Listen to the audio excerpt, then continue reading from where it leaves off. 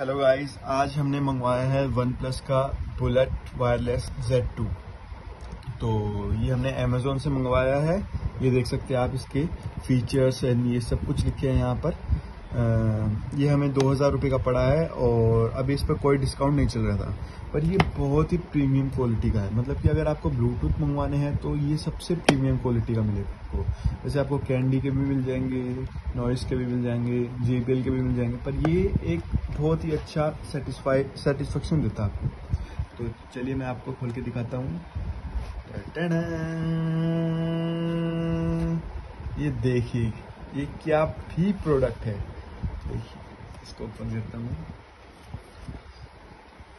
जो one plus का है और एक ब्रांड वैल्यू भी मिलती है इसके साथ।